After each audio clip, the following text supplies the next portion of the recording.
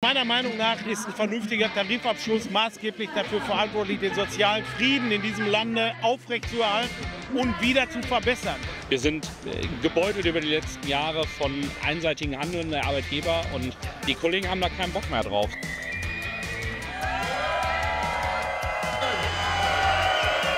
Unsere Forderung 7% mehr Lohn, 170 Euro für die Auszubildenden und eine Laufzeit von 12 Monaten.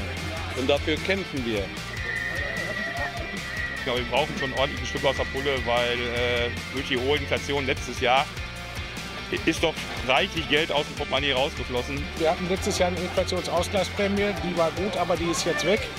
Und äh, deswegen ist das Geld jetzt auch wieder knapper geworden. Wenn man die Arbeitgeber klagen hört, die klagen auf ganz hohem Niveau. Und ich glaube, das ist eine ganz gerechte Geschichte, wenn wir hier 7% durchbekommen. Betrieb geht's gut, Auftragsbücher sind voll. Massive Gewinne sind in den letzten Jahren und Jahrzehnten einfach immer abgeflossen. Das heißt, sie sind in die Mutterkonzerne gegangen, in die Anteilseigner gegangen, aber es wurde nicht reinvestiert. Weder in die Ausbildung, weder in die Maschinen und Infrastruktur, noch in uns als Kolleginnen und Kollegen. Prämien gibt es gar nicht mehr, trotz jedes Jahr überschlagener äh, Wachstumsraten. Das ist nicht fair. Wir verdienen einen Anteil daran. 7% ist das, was wir fordern. 1,7 und 1,9. Lachschlager, die sollen sich was schämen. Wir kämpfen.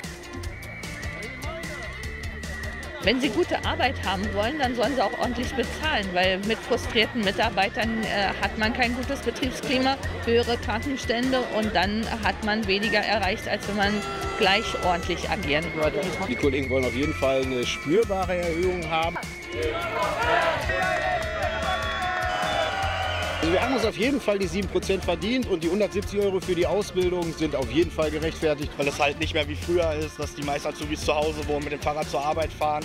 Heute wohnen viele Azubis alleine, sind ein bisschen älter, wollen eigenständig sein, brauchen ein eigenes Auto. Für unsere Auszubildenden wäre es gut, wenn die Auszubildendenvergütung erhöht wird, weil äh, es ist schon nicht leicht, äh, bei den ganzen steigenden Preisen allen gerecht zu werden. Und man möchte ja nicht immer seinen Eltern auf der Tasche liegen. Wir, die Jugend, sind die Zukunft der Firma und in uns zu investieren ist notwendig und wichtig.